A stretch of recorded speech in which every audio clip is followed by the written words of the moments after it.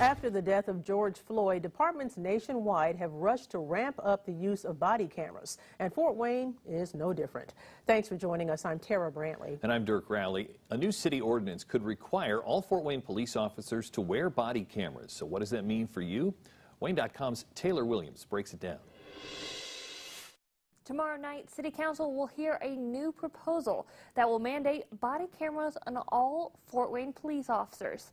The bill will outfit more than 400 officers with body cameras by 2023. It calls for the police department to create policies for operation and administration of the cameras.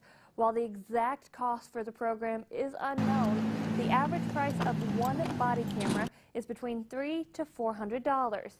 The cost would be paid out of the city's general fund and grant dollars. It is a tool that protects our police officers as well as protects anyone that they're coming in contact with.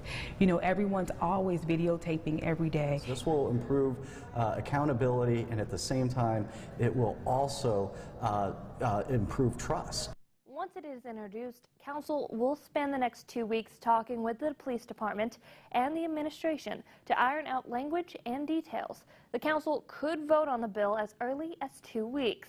Now, if the ordinance is passed, Council members say they hope to start fitting officers with cameras as soon as possible. Reporting in Studio 15, Taylor Williams, WANE 15 News.